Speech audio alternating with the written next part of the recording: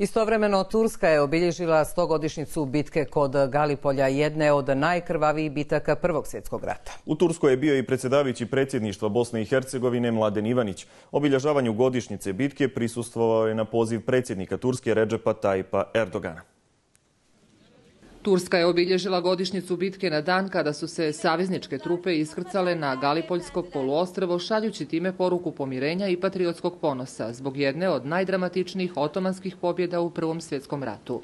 Poginulo je na desetine hiljada ljudi na obje strane tokom devetomjesečne bitke između Njemačke, koju su podržavale otomanske snage i saveznika, uključujući Australiju, Britaniju i Novi Zeland, koji su pokušavale da osvoje tadašnji Carigrad i uspostave kontrolu nad Bosforom i Dardanelima.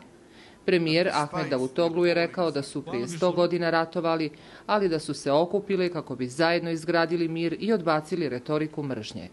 Među dvadesetak svjetskih lidera na Galipolju su bili britanski princ Charles, premijeri Australije i Novog Zelanda. Australci i Novozelanđani prvi put su se tada borili pod nacionalnom zastavom.